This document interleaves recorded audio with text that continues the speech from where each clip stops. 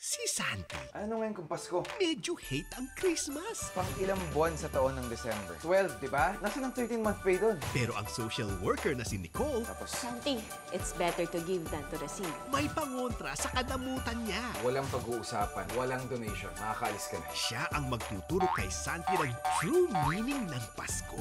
Once Upon a Time presents Santa Cruz is coming to town ngayong December 11 na. Sunday after Pinoy Boy Band Superstar.